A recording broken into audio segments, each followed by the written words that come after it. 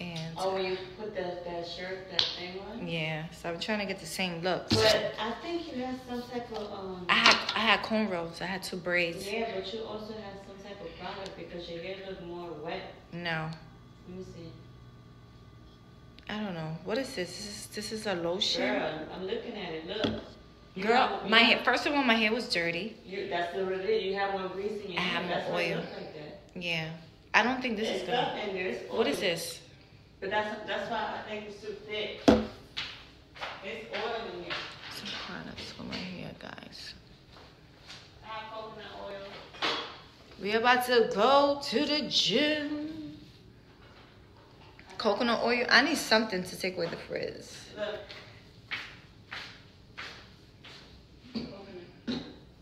You don't think this one? Look, this is greasy. Yeah, it is greasy. So that, I'm put I this. feel like it's gonna be too thick. Try it. Try a little bit in there. We need thickness though. Remember, she put like jam. She, if I put oil, it's still gonna be soft. I need it to be like a little.